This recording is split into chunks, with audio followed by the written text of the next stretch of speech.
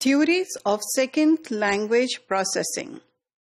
Now let us look at the theories of uh, uh, second language learning that focus on information processing.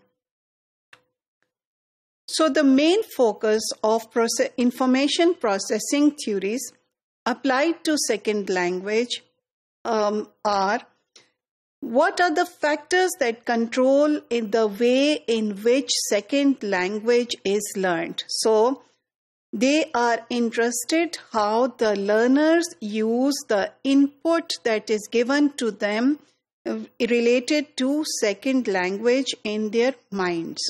So how is the information actually processed? There are two approaches main approaches. There are several in between, but there are two main approaches that we will be talking about later.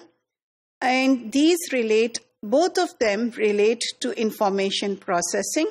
However, the route of studying that information processing they undertake is different. The first approach is processability theory, and the second one is perceptual saliency approach. So, what is um, processability uh, approach?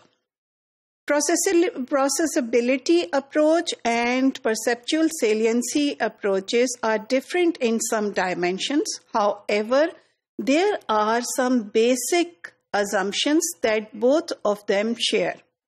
And these basic assumptions are A, that human beings actively process the input, informational input that is given to them. So they process the information in their mind, they store it, and then in their minds, in their memories, and they retrieve it. They take it out from their memories, they retrieve it to use it in different contexts. This would mean that this is a departure from behavioral approaches, if you would remember that we studied earlier, in which we said that language learning happens by response to a given stimuli. So, over here, the learners, uh, uh, what happens in the mind of the learner, the processing that goes on is given much more salience rather than regarding language learning as the learning of a behavior similar to that of uh, to that done by uh, undertaken by animals. Another basic assumption is that this approach and all cognitive approaches also do not pay much attention to the social context of the learning of the second language. So, whatever information is coming from the social context is only regarded as information, simple information, which is again processed by the minds of the learners.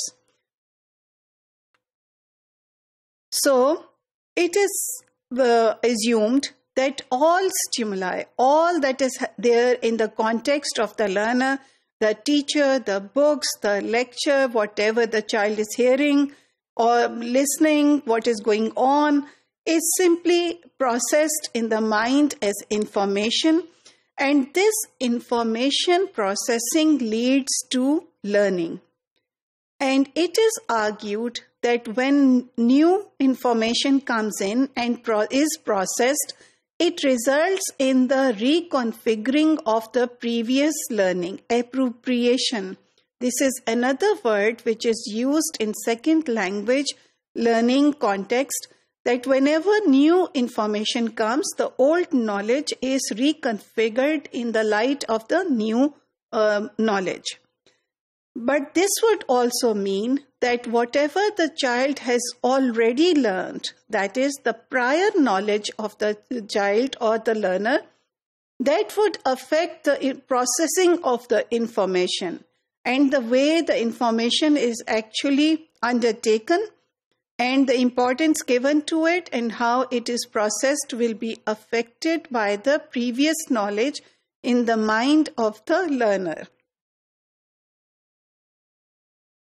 So the basic argument that these approaches um, uh, put forth is that individual memory capabilities might vary. So different individuals might have different capabilities for of memory, different um, uh, uh, different capabilities in terms of storing information. Yet the processing mechanism that each individual takes place takes place in the minds of each individual is the same. So the processing mechanisms are the same. However, individuals differ in the memory span that they might have at their disposal.